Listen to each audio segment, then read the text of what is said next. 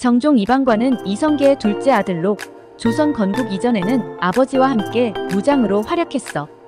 조선 건국 이후로는 첫째 아들 이방우가 병으로 일찍 사망해 사실상 맏아들의 역할을 했던 사람이 정종이야. 하지만 정종은 왕위의 뜻도 없었고 권력욕도 없었어.